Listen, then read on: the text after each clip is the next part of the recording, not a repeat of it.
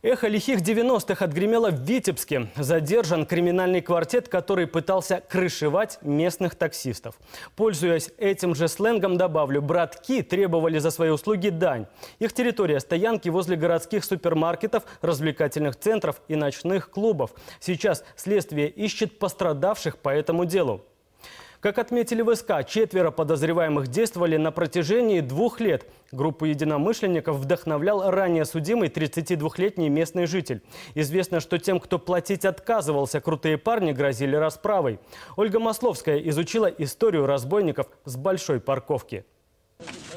Они работали в стиле 90-х, задерживали их также – Оперативная камера запечатлела, как надевают наручники одному из участников криминального квартета. Два года он и его подельники, крутым парням было от 23 до 32 лет, держали в страхе витебских таксистов. Паркинг у ночного клуба. Вот рабочее место криминальной четверки. Таксистов, которые дежурили возле увеселительных заведений, злоумышленники заставляли платить дань. В ином случае грозились разбить автомобиль или того хуже – искалечить.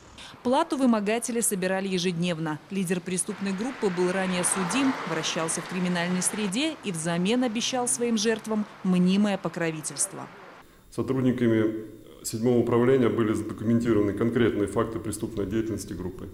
В результате с мая по август текущего года все подозреваемые были задержаны сотрудниками управления совместно с бойцами ОМОНа. Сейчас разбойники с большой парковки находятся под арестом. Им предъявлено обвинение по статье «Вымогательство, совершенное повторно группой лиц по предварительному сговору под угрозой применения насилия к потерпевшему и повреждения имущества». Следователи разыскивают потерпевших. С момента задержания они находятся под стражей. Следователи обращаются с просьбой гражданам, которые пострадали от действий обвиняемых, а также которым что-либо известно о противоправных действиях указанных лиц, обратиться в Управление Следственного комитета по Витебской области или по телефону 102.